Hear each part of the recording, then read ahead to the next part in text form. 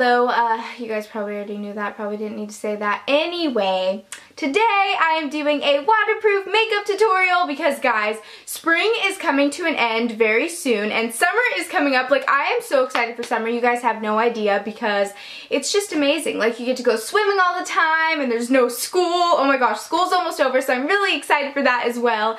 It's just gonna be a really good time. So I'm very pumped for that. And in honor of the summertime, I know a lot of you guys are probably gonna be going to pool parties or just going swimming and there's a lot of hot days where you're probably gonna be sweating all the time.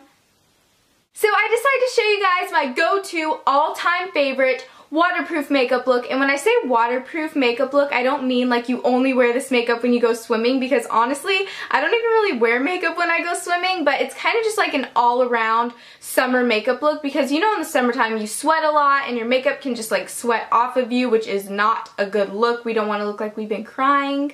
And if you're at like a pool party or something, you get splashed or you decide to get in the water, this is just an all around perfect makeup look that's not going to sweat off. It's not going to budge. It's just going to stay on you for a really long time. And I'm probably going to be wearing this makeup look throughout the whole summertime because it is like my new fave. So I hope you guys like it. And I also used my waterproof camera, which I'm really, really obsessed with. So if you guys want to see more underwater stuff, then let me know.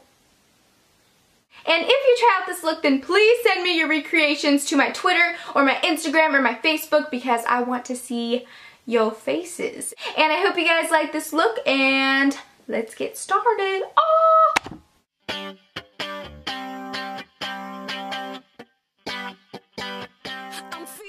Okay, so first we are going to start off with the face, and obviously we are going to be choosing BB cream instead of liquid foundation because it's a lot lighter, it's going to stay on your skin a lot longer, and it is loaded with SPF, which protects our skin from the sun, so just apply that all over your face. And if you want a little bit more coverage, then you can go for a waterproof concealer. Mine is by NYX, and I'm just applying that under my eyes and on any blemishes. You can even just use the concealer instead of BB cream if you don't want to use both, but if you want a little bit more coverage, then you can go ahead and double up. And to set everything, just go ahead and apply a very light face powder and also something with, of course, the more SPF, the better, because we don't want to get sunburned. Okay, now if you're planning on wearing eyeshadow on a really hot summery day where you're going to be going in the pool or something like that, the key is cream eyeshadows, you guys. So I'm just taking my Revlon cream eyeshadow palette and selecting the champagne shimmery color and applying that all over my lid with my ring finger.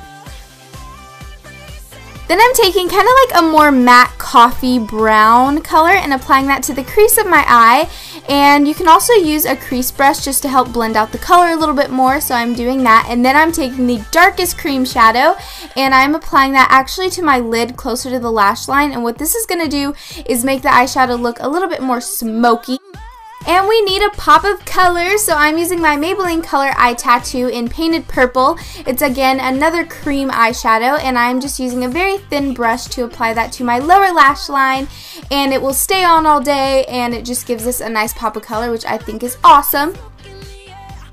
And of course, we have to use some waterproof mascara, so I'm just using the Maybelline Colossal Volume Express Mascara, and I'm telling you guys right now, this mascara will not come off for anything. Pinky promise you guys right now. And little tip, do not apply mascara to the bottom lashes when you're going to be getting in the water because it has a bigger tendency to come off.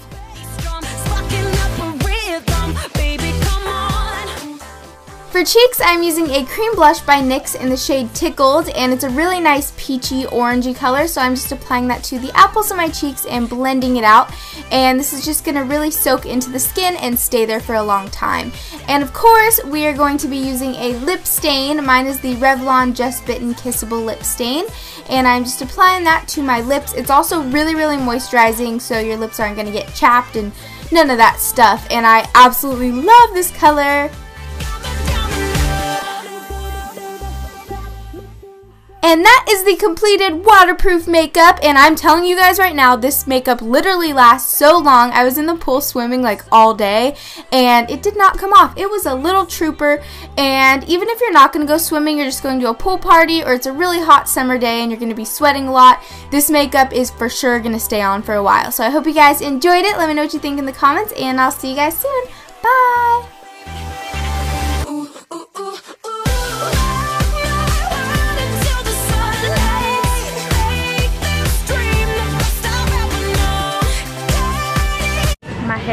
Looks like a dried up rat right now.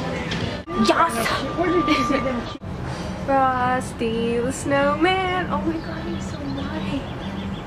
Look! Yeah, what is it? What is the sun?